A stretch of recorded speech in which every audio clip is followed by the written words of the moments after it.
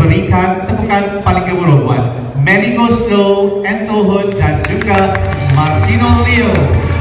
Dipersilakan. Assalamualaikum Mas Ento, Waalaikumsalam. Martino. Apa kabar? Alhamdulillah baik. Gimana kunjungan ke Kuala Lumpur untuk kali yang seterusnya? Ini sini Iya, dengan, pelakon-pelakonnya sekarang ke sini lagi. Ya alhamdulillah masih bisa ke sini, Udah masih bisa. rumah kedua ya, udah seperti rumah kedua ya. Kuala Iya. Oke, ah, seperti yang semua teman-teman ketahui hari ini ketiga-tiga bintang ternama berada di sini untuk berkongsi mengenai album Ada Apa Dengan Cinta Dua. Ah, Mbak Mary, boleh dikongsi dengan kami apa istimewanya AADC 2 ini? AADC 2 ini adalah eh, soundtrack daripada film AADC 2 ya. Ya. Jadi kalau soundtrack kita ya dedicated berdedi- dedikasinya untuk skrip, untuk skenario, untuk film tersebut. Film ini yang pertamanya sangat fenomenal dan booming. Jadi dibuat setelah ratusan purnama film ini kembali hadir kepada masyarakat. Jadi keistimewaannya dari album ini adalah mungkin eh, album ini bisa mengobati rasa rindu penggemar ADC Betul. ya eh, di mana pun berada setelah 14 tahun dengan dengan lirik dengan musik yang juga berbeda. Oke. Sebelum kita bercerita lanjut pasal edisi 2, um, mungkin ada manisnya kalau Meli atau Anto boleh bercerita dahulu uh, pengalaman yang dilalui sepanjang bergerak artis dalam industri musik Indonesia bermula dengan potret terutamanya. Teman-teman mau mau tahu bagaimana sih pengalaman bersama potret itu meletakkan Goslow sebagai seorang komposer dan artis yang dilabelkan sebagai genius di Indonesia. Saya memulai karir saya tahun 84. Tahun 84 saya ikut lomba nyanyi di Bandung. Lalu saya tinggal di Bandung. Lalu saya tahun eh, 94 ya. 10 tahun kemudian. Ya. eh, itu saya menjadi apa? Backing vok- vokal latar ya. Penyanyi latar. Penyanyi latar, untuk Katon Bagaskara. Kebetulan Mas Anto dan Ari Ayunir adalah eh, bandnya di situ. Aha. Terus eh, karena saya suka dari kelas 5 SD, saya suka membuat lagu, saya suka menulis cerpen, saya suka tulis gitu. Terus saya coba-coba tulis lagu, di, dibuatkan musiknya oleh Mas Anto dan Ari. Aha. Lalu salah satu produser musik di Indonesia sekarang sudah tiada orangnya mempunyai ide kenapa nggak kenapa nggak jadi bikin kumpulan aja gitu karena pada saat itu memang kumpulan yang vokalisnya perempuan belum ada akhirnya terbuat potret Potret. Oh, Oke dari situ ya. ya setelah dari potret terus eh, penyanyi pertama yang mem- mempercayakan lagunya dibuatkan oleh saya itu Rosa sama Krisdayanti Aha. Sel- selanjutnya sampai sekarang saya jadi Oke. Tadi dibilang uh, suka baca puisi, tulis puisi apa semua. Siapa yang memberi inspirasi kepada Mary untuk aktif dalam penulisan sastra itu? Sebetulnya mungkin kalau darah seni ada dari papa saya karena papa saya penyanyi. Em, tapi kalau mm, menulis mungkin itu eh,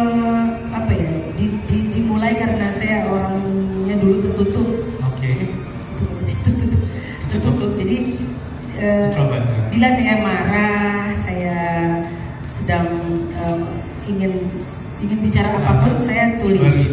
Saya tulis ke mama saya saya tulis ke ke semua ke teman saya saya tulisnya nggak berani ngomong gitu. Aha. jadi akhirnya dari mungkin terlatih menulis ya sampai akhirnya saya jadi nulis eh, puisi nulis cerpen. Lalu suatu hari saya mendengar di sebuah surat kabar artikel tentang Ibu Titik Puspa yang beliau bisa menulis lagu tanpa bisa memainkan satu alat musik pun Betul. saya coba saya coba dan ternyata bisa gitu. Aha. Oke. Masih ada nggak koleksi puisi-puisi yang masa sekolah itu? nggak ada nggak ada karena ditulis begitu aja Kenapa ya ketika itu uh, Mary gentar ataupun takut untuk bercakap terus terang? Sebaliknya memilih untuk menulis. Apa yang menyebabkan keadaan itu? malu mungkin ya kan saya saya pemalu Nah, pada dasarnya saya pemalu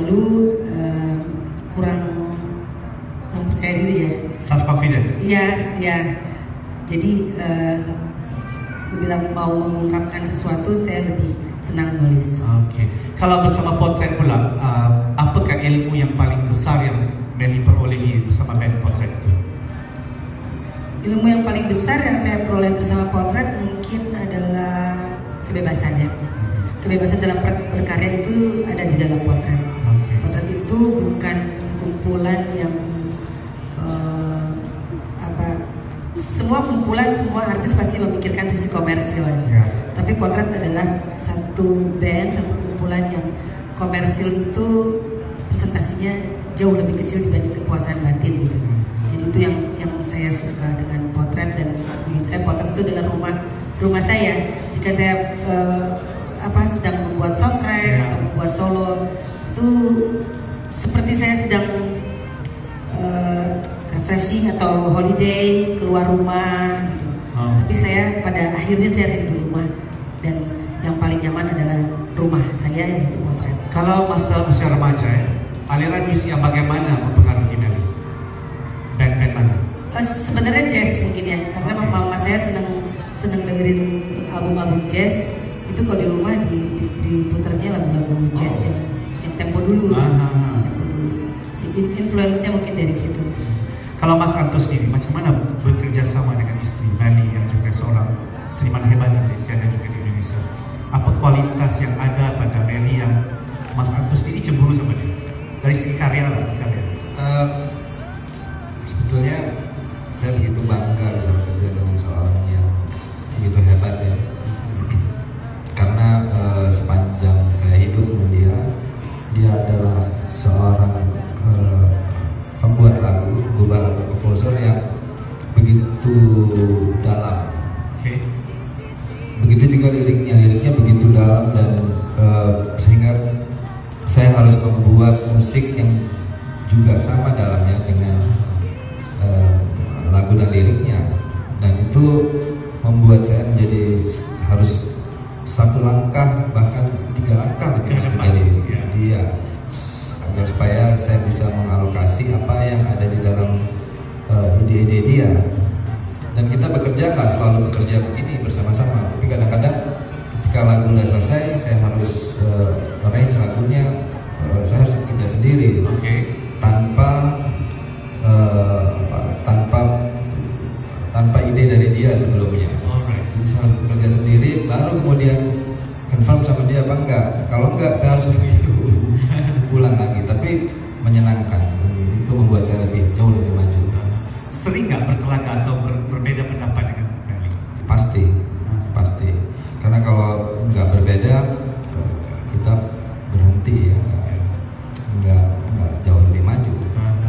Selalu harus ada semacam pertengkaran kecil secara intelektual ya, Ya, dan itu baik buat, buat kita berdua. Oke, Martino, saya akan bertanya sebentar lagi. Tapi sebelum itu teman-teman media kalau ada yang mau bertanya soalan kepada Meli atau atau Martino, ada dipersilakan juga dari masa ke semasa.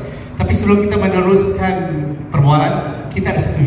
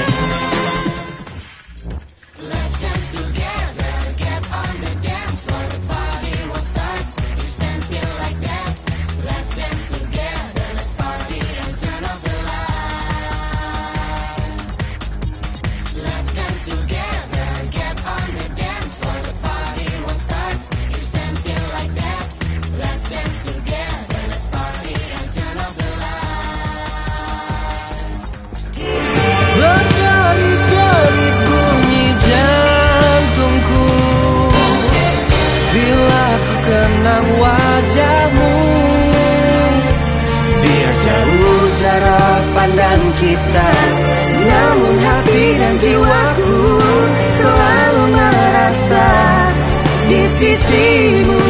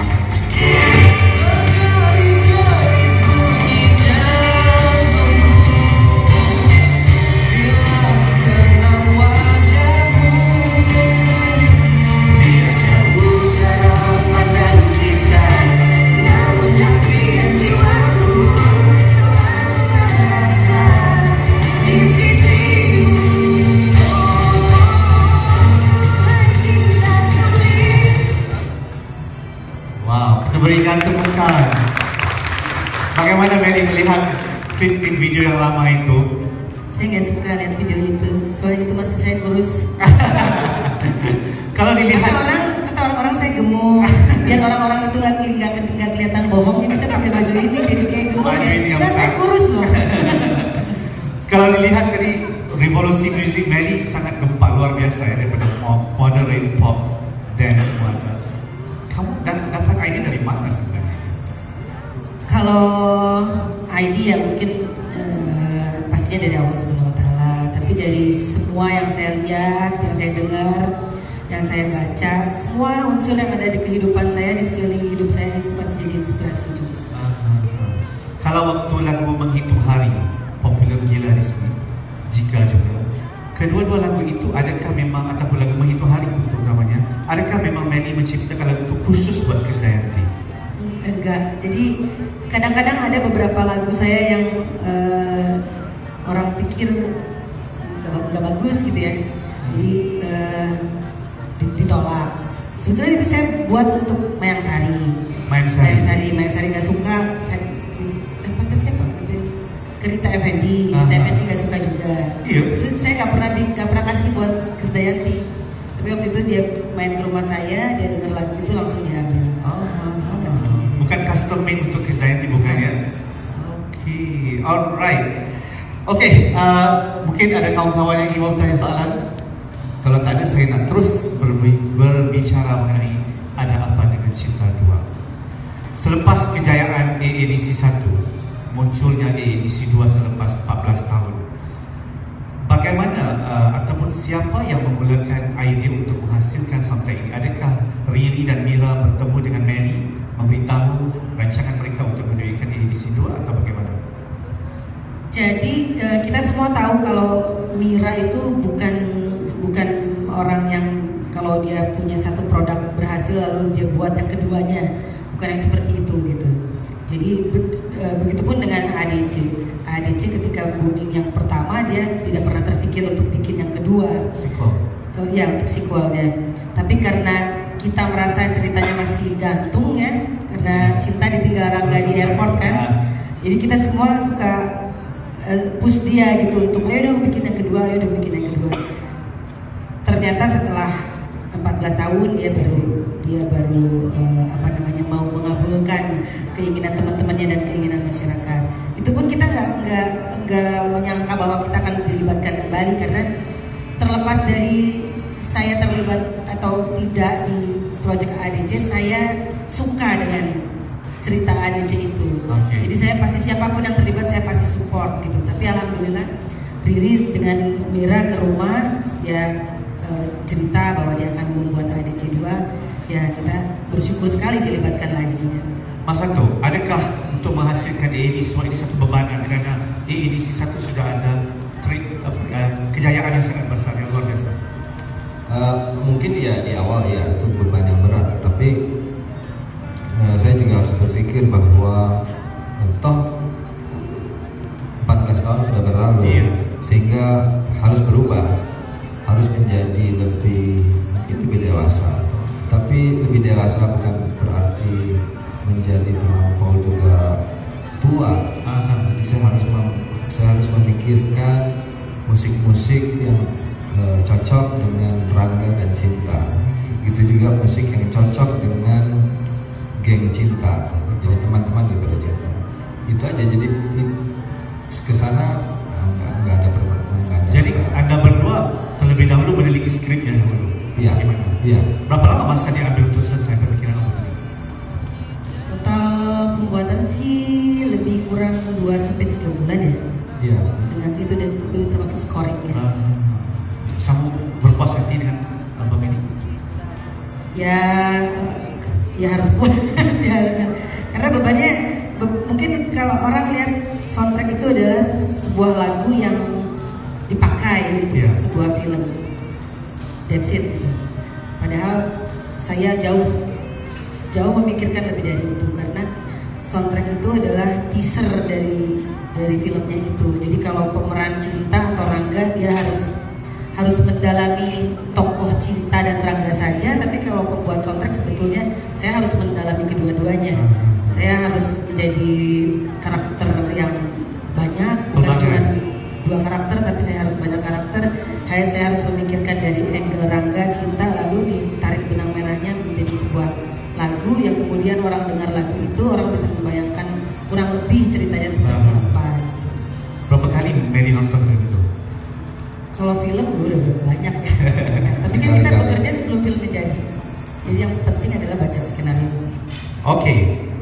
dalam album ini Ratu Sampurnama menjadi single pertama dan saya melihat Melly sekali lagi melakukan eksperimen mengadakan duet dengan Martino Leo yang juga orang baru dalam industri musik.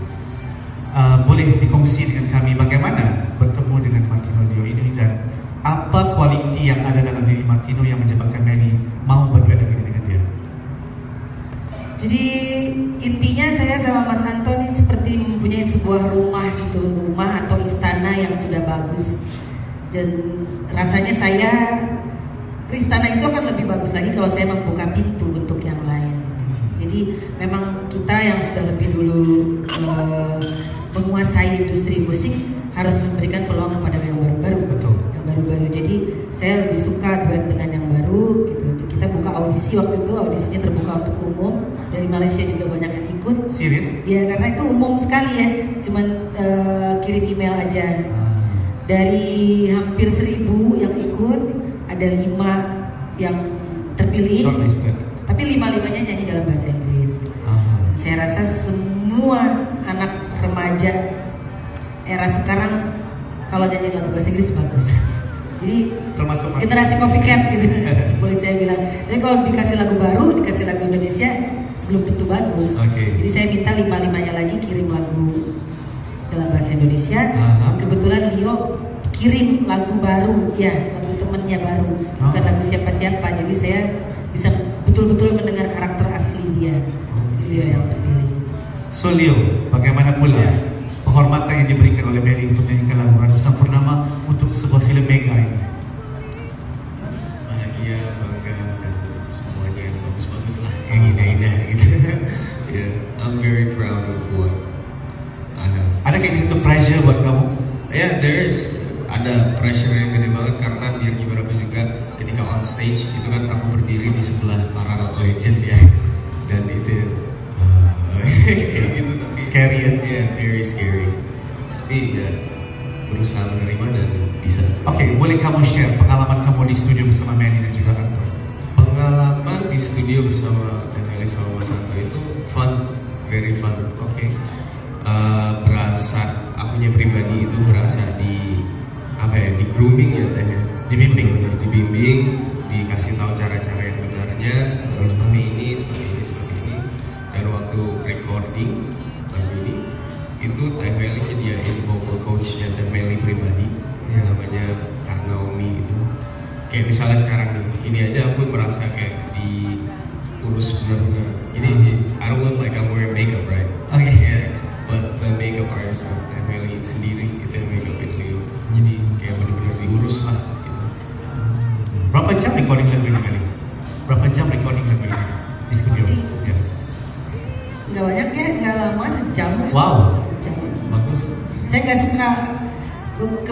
saya bukan yang suka kalau take vokal tuh lama-lama gitu. Buat saya take yang pertama adalah yang paling bagus. Yang ke sana ke sana kalau diulang-diulang itu udah udah didramatisir, udah eh, rasanya sudah dibuat-buat udah nggak bagus. gitu.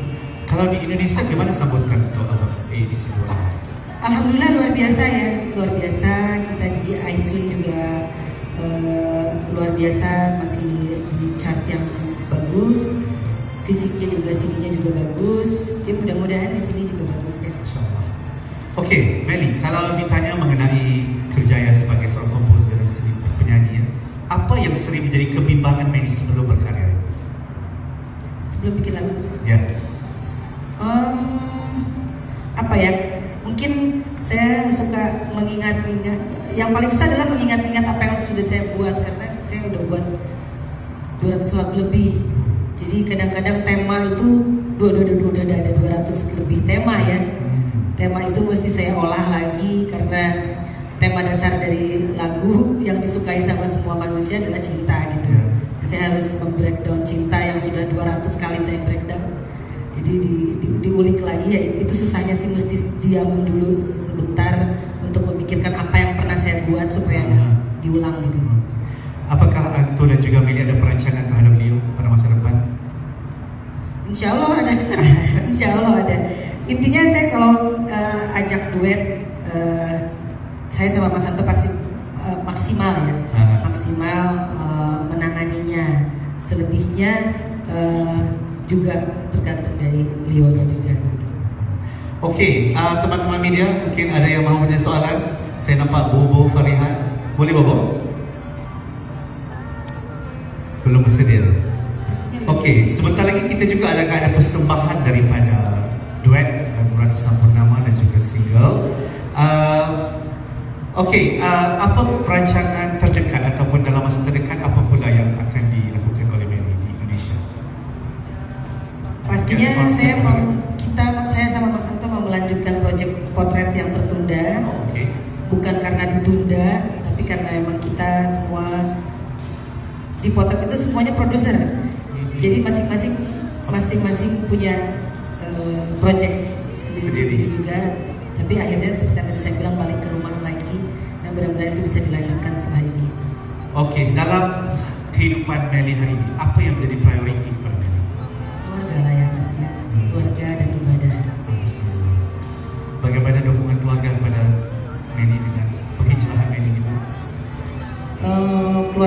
mensupport ya support buat saya tuh doa lah yang paling penting ya jadi eh, apa yang kita buat kalau bagus itu udah otomatis orang mendoakan yang bagus juga gitu Okey, saya mau bertanya satu soalan.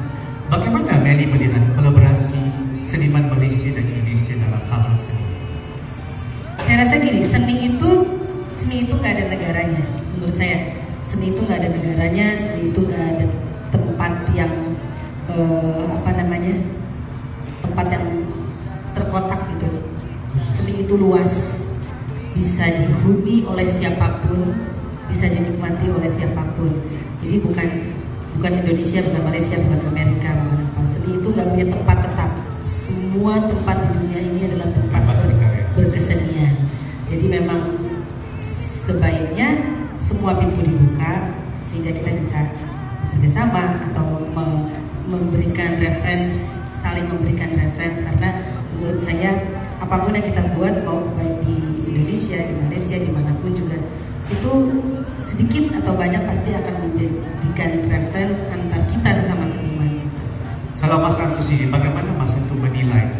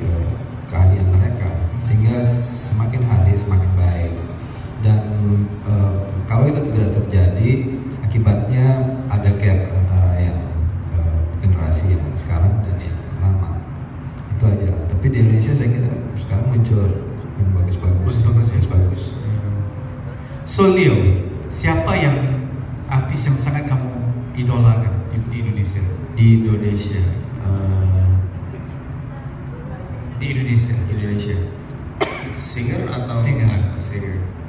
Itu guys. Saya lah, saya dulu. Mentor ya. Kalau kecenderungan musik kamu sebenarnya apa ya? Di, Eh, apa? jalur musik jalur musik sebenarnya itu lebih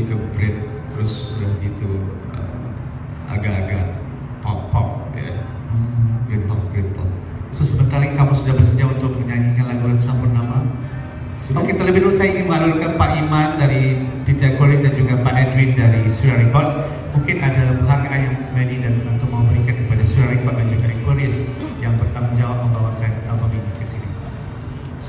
Ya, yang pasti saya terima kasih banyak ya sama Aquarius yang sudah menjadi rumah kami dari tahun 95. Surya Record juga yang sekarang menjadi rumah saya di sini di Malaysia. Mudah-mudahan dua label ini bisa berjaya di sini. Saya dan Mas Anto dan Leo juga memberikan karya yang tidak tidak percuma, tidak mengecewakan gitu ya. Bisa baik di sini. Peminat-peminat saya di Malaysia juga semua media. Thank you supportnya. Alright. Oke, kalau anda semua sudah bersedia, kita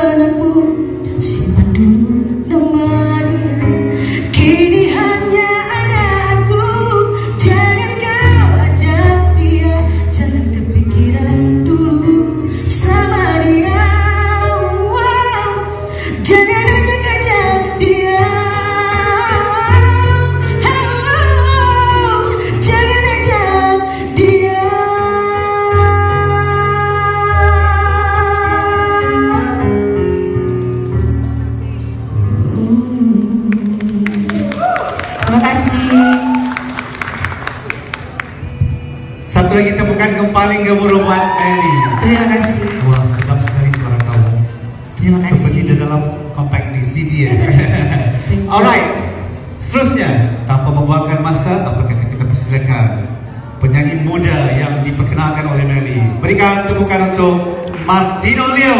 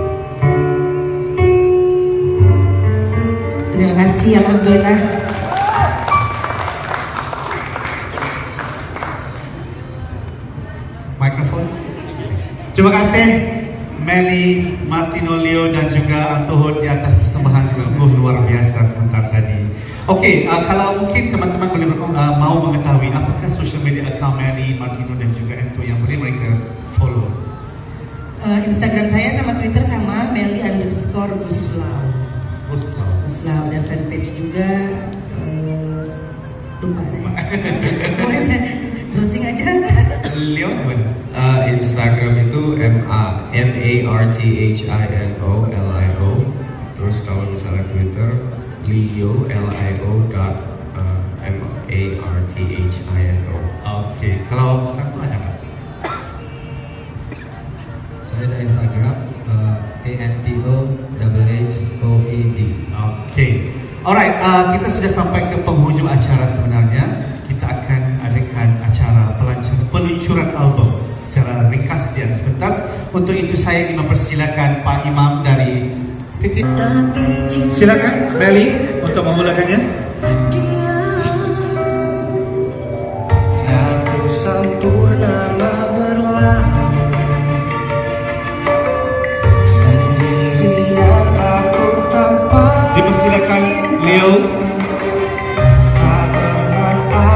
Simba.